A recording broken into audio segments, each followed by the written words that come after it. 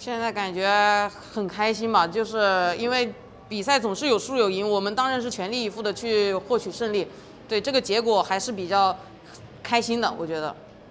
我也是跟我搭档的想法一样，就是虽然说一七年的时候没有一七年拿冠军的那么激动了吧，但是内心还是很喜悦的，因为呃四年是一个周期，在一七年的时候，我们作为新人是。